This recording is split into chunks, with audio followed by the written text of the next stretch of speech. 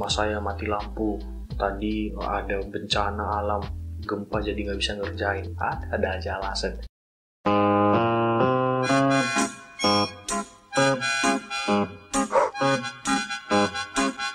Kalau dulu offline, dosennya membuat peraturan maksimal keterlambatan, yaitu toleransinya 15 menit. Kalau di online kayak ginian, nah ini dia mahasiswa yang bisa menyebalkan di mata dosen.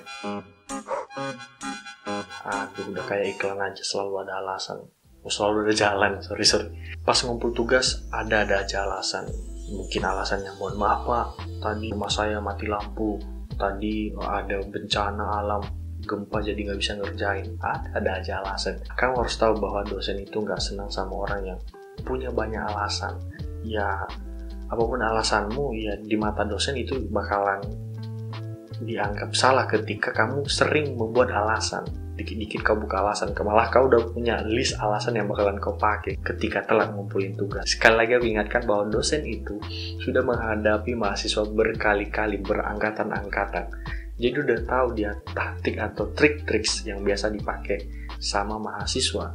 Ketika memang penyebab kau ngumpulin tugas itu terlambat karena jaringan ya, kau bisa konfirmasi gitu di lebih awal gitu. Misal bu eh, di kampung saya jaringannya kurang bagus. Atau bu di kampung saya nggak ada listrik. Hidupnya jam-jam 6 malam gitu. Pasti dosen mengerti kok. Jadi dosen bisa antisipasi lebih awal. Saya udah paham bahwa ya alasannya ini. Tapi kau harus punya bukti. Jangan karena ini kau bisa manfaatin buat ngumpul tugas telat terus. Lalu kalau alasannya karena kesalahan pribadi kesalahan pribadi seperti apa? Telat bangun suka menunda-menunda tugasnya sehingga ketika deadline terlambat kamu kamu lagi kamu ngumpulin tugas ya hati-hati kau bisa disemprot kalau kau berbohong kepada dosenmu. Nah, masih banyak lagi kelakuan-kelakuan mahasiswa yang bisa menyebalkan di mata dosen. Di part kedua, kita akan ngelanjutin video ini. Jadi, buat kalian yang mau nambah bertanya tentang materi, kok materi kayak kuliah aja,